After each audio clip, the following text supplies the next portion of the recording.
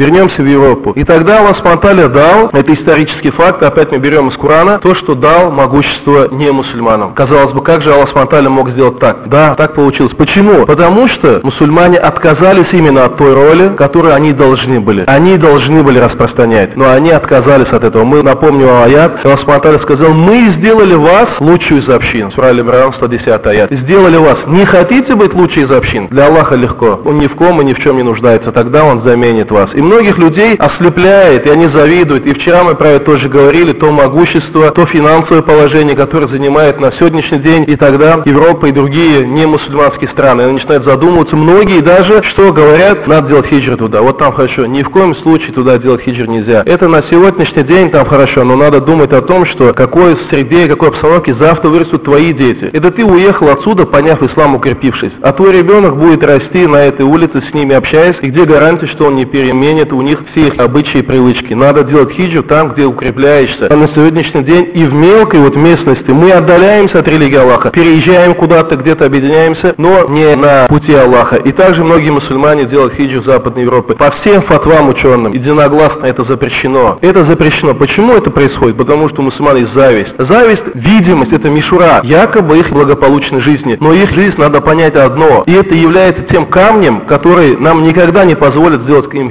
хиджру. Она не основана на Коране Сунне. Их жизнь не основана на Коране Сунне. И где гарантия, что ты сам не изменишься завтра под воздействием этих? Не захочешь, так они тебе изменят. Поэтому ученые говорят, если в одном городе есть два богобоязненных человека, они все равно найдут друг друга. Если же есть два испорченных сердца, они тоже найдут друг друга. И где гарантия, что сердце не испортится, и ты не станешь одним из них? Потому что ты будешь находиться в такой среде. Пророк, саллаху алейхи вассалям, запрещал даже ехать в страны неверных, беря с собой мусхав, чтобы он не попал в Коран в руки неверных. Не то, что говорит о хиджре.